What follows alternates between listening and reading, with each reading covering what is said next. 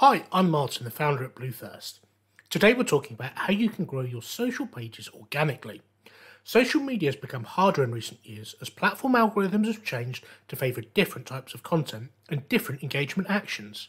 Sometimes it can feel like you're fighting a losing battle, but here are our best tips on social media growth. Focus on relevant channels. Organic social media growth requires a lot of effort, planning, and content, so you need to make sure you're putting effort into the platforms that are suitable for your audience. To work this out, you need to build an ideal customer profile. This can include gender, age, income, job industry, interest, and more. For this information, you should be able to deduce the social platforms your ideal customer is using. For example, Facebook has 2.7 billion monthly active users. Of these, 26.3% are aged between 25 and 34, and 56% are male. The age group indicates that Facebook users are likely to have a higher income because of their age. Now, you could take that data a lot of ways. 2.7 billion users have a huge audience.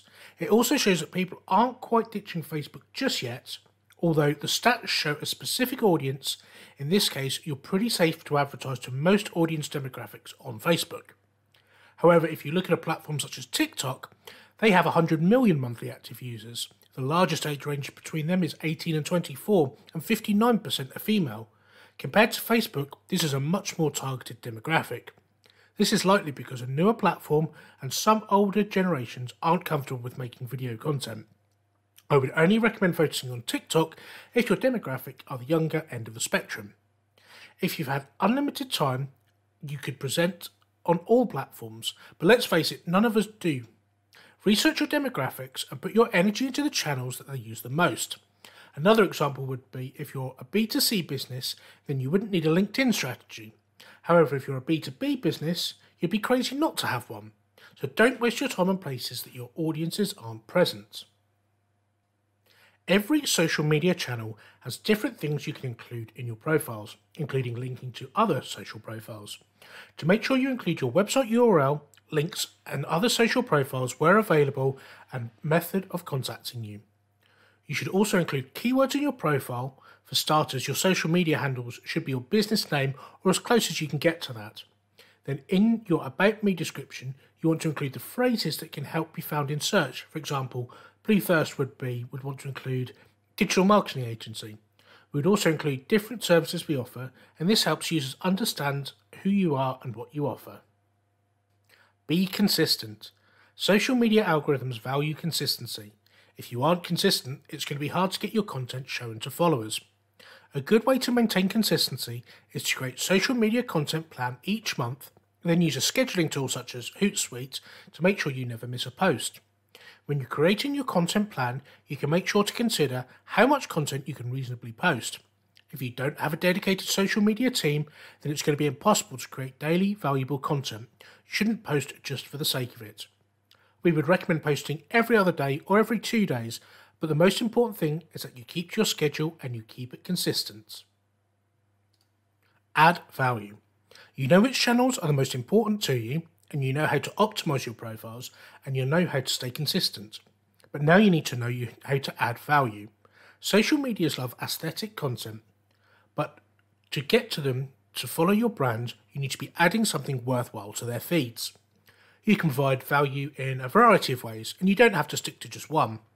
First, you can provide value with beautiful images that are on brand. Social medias love looking at aesthetic on trend images. You can provide updates on your industry, and this shows you're knowledgeable and up to date. You can also post about specific products and why they're great, and you can show your products in action with video content.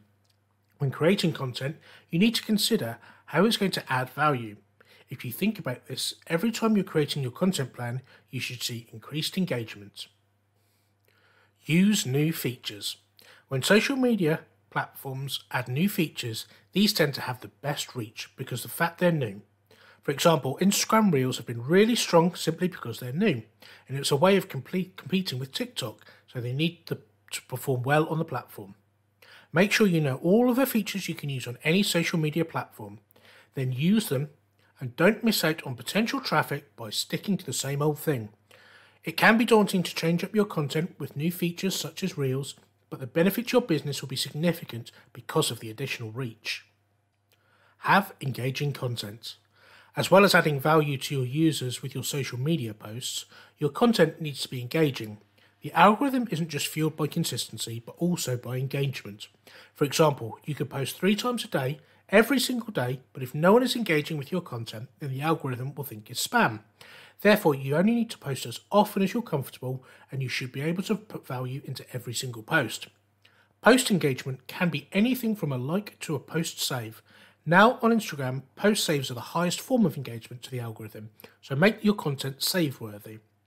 To encourage engagement, you can ask questions which will encourage comments. You can ask users to save content for later. For example, if you have a recipe business, you could tell people to save for later.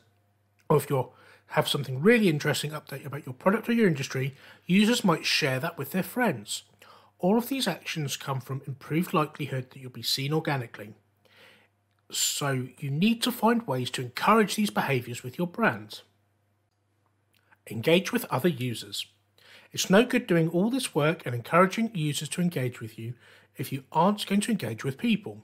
If you don't engage with other people's content or the comments in your posts, then this could affect your reach as well. Some people don't think that they're online and engaging around the time of your posts, they'll have an improved reach. At the end of the day, social media platforms are designed to be social. They aren't just for selling, so you need to engage and build those customer relationships. Organic strategy. We've given you the tools to understand how to build your social media platforms organically. Now you just need to put these into practice. Building anything organically isn't always a quick process. Whether it's your organic rankings or social media followings, it requires continuous work and patience. If you can follow the points we've mentioned, you should see improvement in your social engagement and following. But creating content for multiple platforms and engaging with your following in time like consuming job, particularly once your following starts to grow. If you wanted your page to grow more quickly, you could run paid ads, or you could employ someone to plan, create, and manage your content strategy. If you need to do it yourself, just remember to be consistent, add value, and engage with others when you can.